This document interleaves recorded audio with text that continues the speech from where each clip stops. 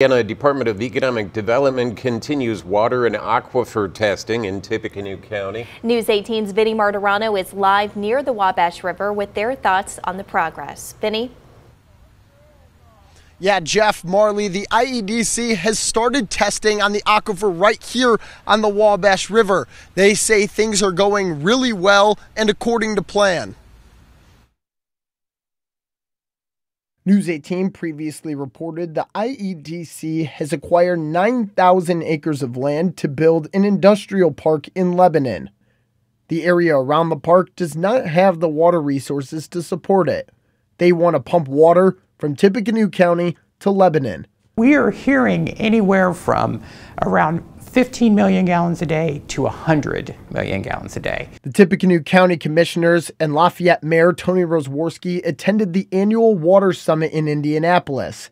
It's too early to share the exact numbers of their tests, but the IEDC told local officials the testing is going really well. Again, they haven't shared any specifics, but they, they called the test results textbook. I believe Mr. Whitman used the term appeared promising. The commissioners meet with IEDC and other local elected officials, legislators, and Purdue experts every other month to discuss where they're at with the project.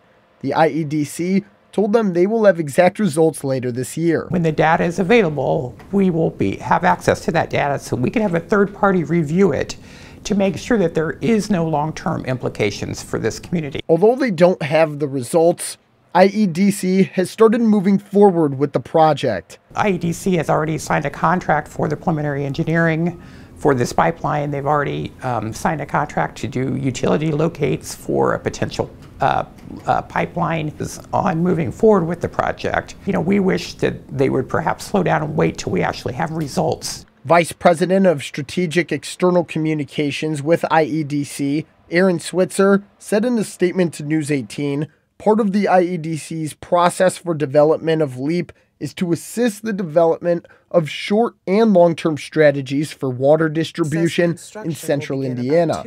This effort will not only assist communities through the area, but will also set up Indiana for greater economic development opportunities in the coming decades.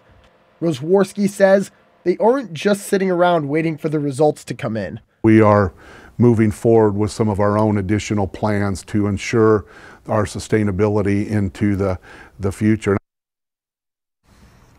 And Commissioner Murtaugh says he has a growing concern that Tippecanoe County may run out of water. Reporting live near the Wabash River, Vinny Martorano, News 18.